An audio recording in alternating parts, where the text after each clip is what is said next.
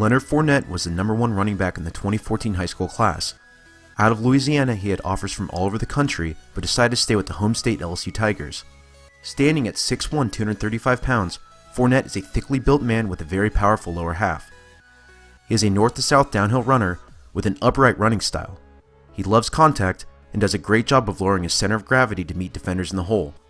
He keeps his feet moving and runs with a good forward lean to gain yards after he's tackled. He is a team player and chases down defenders for tackles after his quarterback makes a costly error.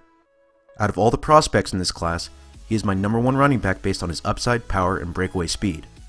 While he is a large running back with excellent speed, I have concerns with his durability. An ankle injury that he suffered at the start of the season nagged him for his final year at LSU. Additionally, based on his upright running style and powerful lower half, defenders will consistently aim low at his feet and knees in order to bring him down. For his power, he was tripped easily where other running backs would be able to slip these ankle tackles based on his high center of gravity. With his running style, he hits the hole hard, but he's a bit stiff in the hips. If a defender can stop his momentum in the backfield or at the line of scrimmage, he doesn't have the flexibility to turn in quickly to gain it back.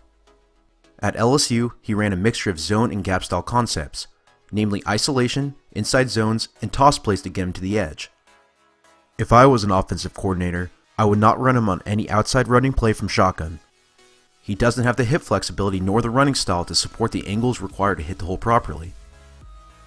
He would be much better at running from single back, offset I, or I formation with a fullback to get his momentum going north to south. He is a workhorse back with average hands out of the backfield. LSU did not use him as a receiver very often, but used him in pass protection to help the offensive line. With his size, he is an above average blocker, but he struggles in space due to his hip flexibility. Finding a direct parallel for his size and power is very difficult, but I think Adrian Peterson of the current modern era of running backs fits him the best. Peterson ran a 4-4 40-yard dash at 6'1", 217 pounds, and while I see Fournette as a 4-5 guy, you have to remember that he is running it at close to 20 pounds heavier, so that's even more impressive in my opinion.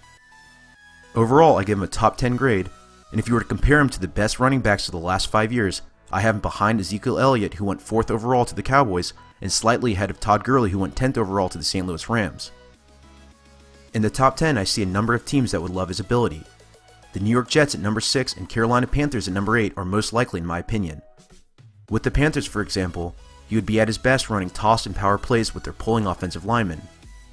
He could fit a pure zone running team based on his talent, but he looks much more comfortable when LSU ran gap style plays instead. Well, that's all I have for you. If you like this video and you want to support the channel, feel free to follow the links to my PayPal and my Patreon accounts. You can follow me on Twitter at Samuel Gold. If you want more analysis of your favorite players, Come to fieldgulls.com for latest articles.